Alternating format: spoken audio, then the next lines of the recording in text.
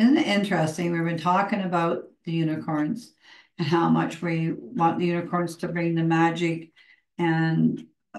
innocence back into our lives. And the Buddha to me always tells me that